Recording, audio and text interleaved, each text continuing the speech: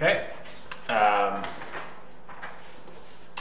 so here we need to estimate the terminal wooden sphere tailing through the air, taking its radius as 8 centimeters and its drag coefficient is 0.5.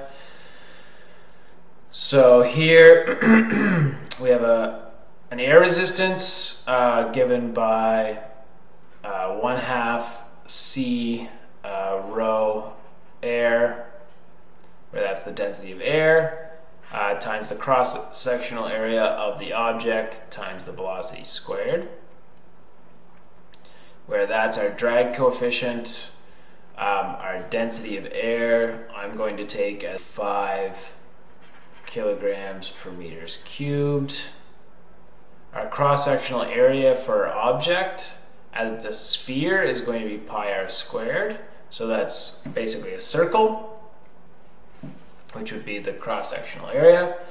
Um, and then v is our velocity, which we're trying to solve for. Um, so our net, our terminal velocity occurs when um,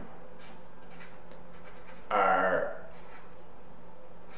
downward, um, our gravitational force is perfectly balanced by our friction, or when f so our terminal velocity occurs when our acceleration is zero. So when our friction minus mg is zero, or when our friction equals mg.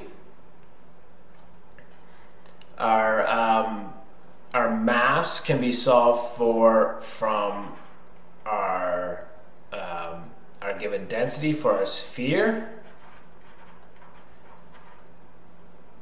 uh, times our volume, which for a sphere is um, our density of our sphere,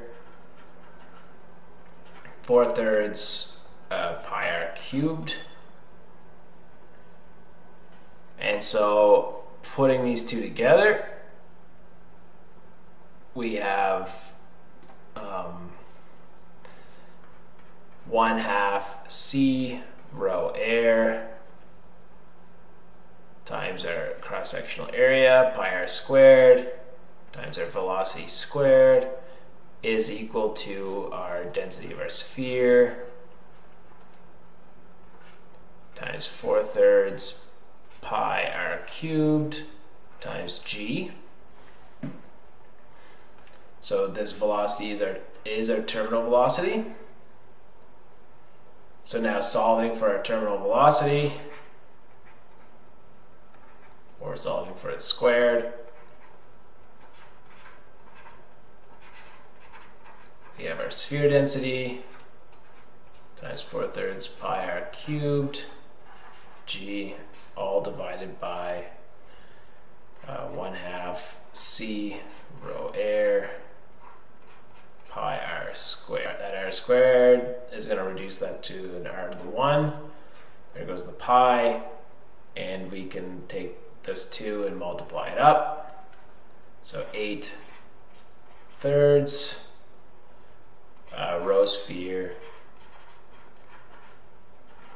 g r over um, c rho a. Okay, so now we can start plugging in some values. And so this would be um, 8 times the, um, the density of our sphere is 0 0.830 grams per centimeters cubed. Our g is 9.8 meters per second squared and our radius is um, 8.00 centimeters. And we're going to obviously need some unit conversions here. So to convert from centimeters cubed to meters cubed, um, we need to multiply by 100 centimeters per meter cubed. To uh, convert from centimeters to meter, we need another. We need a meter per 100 centimeters. So that'll cancel that one. And that'll cancel this one.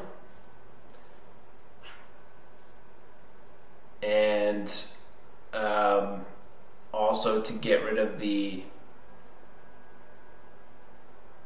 the grams per the grams here we're going to need to multiply by um, another factor of a thousand uh, one kilogram per thousand grams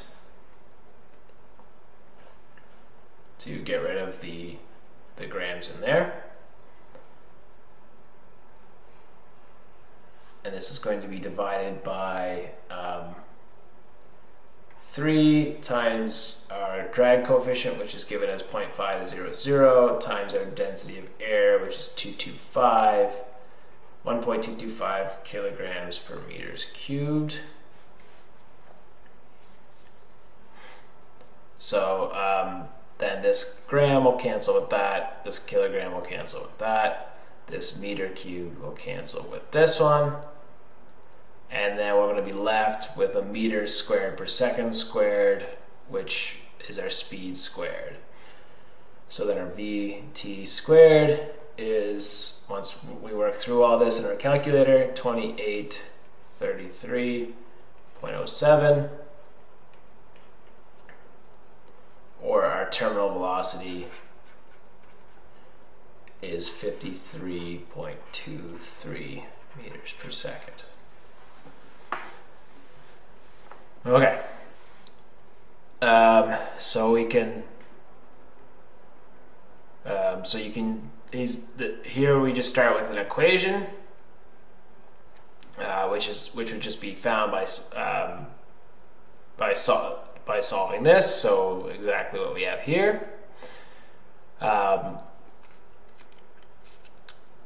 so plugging in some values um, with some unit conversions um, at the at the top here to get everything into um, the proper units.